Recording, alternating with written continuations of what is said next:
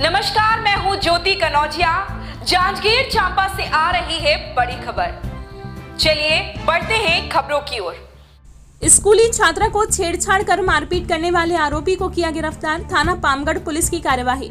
नाम आरोपी योगेश बनर्जी, पिता संतोष बनर्जी, उम्र 22 वर्ष, साकिन भिलोनी, थाना पामगढ़, जिला जांजगीर चांपा। मामले का संक्षिप्त विवरण इस प्रकार है कि पीड़िता दिनांक 23 सितंबर 2024 को सुबह स्कूल जाने के लिए निकली थी। तभी रास्ते में ग्राम भिलोनी का योगेश बनर्जी मिला और पीड़िता को बेइज्जती करने की नियत से छेड़छाड़ करने लगा। पीड़िता चिल्लाई तो आरोपी मारपीट कर भाग गया।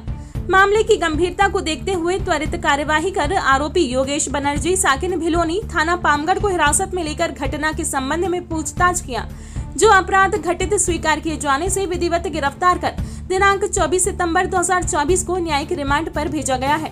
प्रकरण की विवेचना जारी है। उपरोक्त कार्यवाही में उप निरीक्षक मनोहर लाल सिन्हा, थाना प्रभारी पामगढ़ सहायक उप निरीक्षक संतोष बंजारे, आरक्षक सीताराम सूर्यवंशी, मुकेश कमलेश एवं थाना पामगढ़ स्टाफ का सराहनीय योगदान रहा।